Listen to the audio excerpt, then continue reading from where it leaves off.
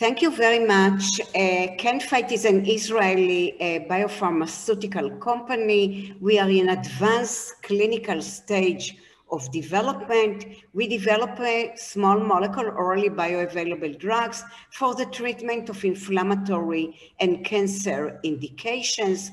We have a robust clinical proof of concept from phase two and phase three clinical studies. I will take you through it. And uh, we have successfully licensed out uh, our two lead drug candidates, uh, and namodenoson, and got into the company $20 million out of upfront money, and more $130 million are going to get into the company upon successful milestones that we will reach relating to regulatory and sales milestones. The company is dually listed on the Tel Aviv and on the uh, New York uh, Stock Exchange. And let's just jump into the unique platform technology of our company. So on the right side of the slide, you can see what we have found. We found that pathological cells, like inflammatory and cancer cells, express, very highly express, a specific cell surface receptor, which we are targeting. When our drugs get into the body, they can bind only to this green structure, the A3 adenosine receptor, but not to the normal body cells because they are nude. Upon binding of our drugs to the receptor, they will induce cell death and the pathological cells will be eradicated from the body, whereas the normal body cells will be refractory to the effect of the drugs. As of such, we know today that we have an excellent safety profile based on the fact that we have already treated more than 1,500 patients with our drugs. We also have proven therapeutic effect, as I mentioned in phase two and phase three clinical studies. Let's jump right away into the company pipeline. So our first drug candidate is piclidenoson, and we currently uh, have an ongoing phase three clinical studies. We are going to announce complete of patient enrollment very shortly. And data from this study are going to be released towards end of this year, 2021. With the very same drug, which has a robust anti-inflammatory effect, we have an open IND with the FDA to treat patients with COVID-19. Enrollment is ongoing, and we also envision the data will come up out before end of this year. The second drug candidate is namodenoson. It is positioned for the treatment of patients with advanced liver cancer. We are doing all the preparatory work for a phase three pivotal clinical study, and we are treating also patients with NASH, non-alcoholic steatohepatitis. It's accumulation of fat in the liver in patients who are not consuming alcohol. We have successfully concluded a phase two clinical study, and now we just announced that we are initiating the phase B, 2B clinical study. Last but not least, we have two programs in preclinical studies. Our drug CF602, which is positioned for erectile dysfunction, not for healthy subjects, but for patients who suffer from diabetes or from cardiovascular indications. And also, we are doing some work with cannabinoids who also target the very same receptor. Cannabinoids can also bind here and induce cell death. So we have the capability to identify specific cannabinoids and to push them into the clinic. Let me take you now through the robust clinical proof of concept that we have. So regarding the ongoing phase three clinical study, we have conducted Uh, during October 2020 an interim analysis where we could show basically the company was blinded to the data, but there was a committee on top of the data which showed both efficacy and safety for this drug. And they very highly recommended to continue patient enrollment. Now we are very close to the complete of patient enrollment, overall 400 patients, and we are going to come up with the data of this study towards end of this year. Additional proof of concept came out of the phase 2A NASH study. You can see here a significant decrease in the accumulation of liver fat. We have, we have shown it via MRI in comparison to patients who were treated with less and also who were placebo. Also, in the advanced liver cancer phase two study, we have a very good proof of concept. Patients who are treated with our drug has a much longer overall survival time. So with the clinical proof of concept, I would like to share with you our business development strategy. Basically, we know how to develop the drugs. We know how to register the drugs with the regulatory authorities, FDA and EMA. But we will not be the ones that will market the drugs, and we are putting lots of efforts in order to sign partnerships with companies who will later on down the road, when we will register the drugs, will be able to market them.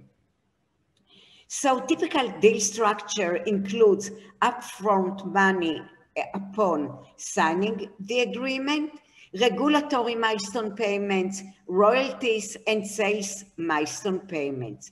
Till today, we have received $20 million out of upfront money and $130 million, which are going to get into the company a bit down the road. We have signed seven different agreements with a Canadian company, Cipher Pharmaceutical, Gebro Pharma, and Ewopharma in Europe, CMS uh, in China, one of the largest pharmaceutical companies in China, and two agreements that we have signed in Korea. Let's move on and let me take you through our first drug candidate, piclidenoson, currently positioned for the treatment of psoriasis and COVID-19. You can see here a very specific mechanism of action to the drug. The drug is a small molecule, orally bioavailable molecule. As, as, I mentioned, we have already conducted an interim analysis in the psoriasis phase three study. The interim analysis was very positive. And as I mentioned, top line results from this study are expected towards end of year. Regarding the COVID-19, the drug has a robust anti-inflammatory effect, and all of us know that the main manifestations of COVID-19 is inflammation in the lung. Our drug has the capability of combating this inflammation in the lung. We are aiming at the phase two clinical study and at the enrollment of 40 patients. We have been approved by the FDA for this clinical study, and we have envisioned the data will come out towards end of this year as well. Regarding the second drug candidate, namodenoson, it is currently positioned for the treatment of liver diseases, advanced liver cancer, and NASH. So regarding the liver cancer, we are going to initiate a pivotal phase three clinical study during Q4 this year. We have been granted by the FDA and the EMA a fast track status and an orphan drug status. We are having in Israel an ongoing compassionate use program, and we are going to initiate the phase three pivotal clinical study during Q4 this year. So this is additional clinical milestone. Regarding the NASH, we have shown in the former phase two clinical study reduced liver fat content, inhibition of fibrosis, anti-inflammatory effect, and we have just announced that we are initiating the phase 2B clinical study ahead on time during Q3 this year. And let me take you through the CF602, the drug candidate for erectile dysfunction. This drug is very active in preclinical studies, and it is active both when we give it orally or when we give it topically. We are going to position it as a drug for patients who suffer from diabetes and also from cardiovascular indications, it is still in a preclinical stage of development. The same is true for the cannabis-derived pharmaceutical program that we are having at Can-Fite. The rationale is the capability of cannabinoid, cannabis-derived compound, to bind to the very same a target that Can-Fite develop, we can predict in a very early stage if a given CBD compound can be efficacious later on in the clinic. So this is our strength, and we are going to create partnerships with different uh, cannabis companies. So just to summarize, I have presented you with a novel therapeutic approach today oral drugs, small molecule drugs with proven safety and efficacy. We have a very broad intellectual property portfolio. We have already signed a couple of corporate partnerships and got non-dilutive money into the company. And we are financially well positioned. We just released our Q1 financials. Thank you very much, and I will be very happy to answer questions. Thank you, Dr. Fishman. So the first question coming from Bruce Kong here. Uh, you had a success in clinical trial to with the liver cancer. And so what's next for the for the for this program now? So uh, actually we are going to initiate a pivotal phase three clinical study. Very shortly, we have been blessed, got a green line from both the FDA and the EMA for this program, for this phase three study. And he's also follow up with a question. Is there other, a lot of other ongoing drug or treatment uh, right now for liver cancer? What's the, the state of the space here? Actually, we are treating patients, only patients with advanced disease who failed already uh, the first line, which can be Nexavar or other two drugs which are already approved. But we are treating only the most advanced patients. We need to keep in mind that our drug has a liver protective effect on top of the anti-cancer effect. And we hope very much to be successful with this liver cancer program. And this next question coming from uh, Kaliana is asking, when do you expect uh, his uh, your uh, drug candidate, to move to the phase three trial for COVID? Uh, actually, with the psoriasis, we are heading also towards a conclusion of the first phase three clinical study, and we will embark upon successful conclusion right away on the second phase three study, which we envision that will take two years, and then we will be able to approach the FDA and register the drug with the FDA and with the EMA. Okay. And the next question coming from Anchor here is the company the sole owner of your, your IPs or your IPs?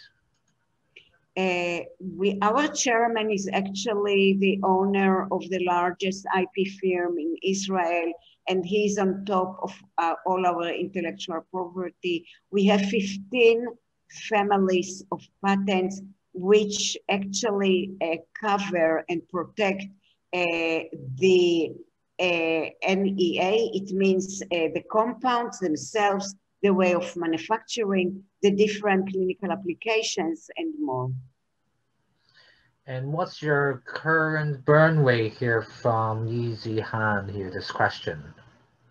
Uh, actually, we are very lean uh, with our uh, expenses, the G&A, of course, and most of the expenses will go for the clinical studies.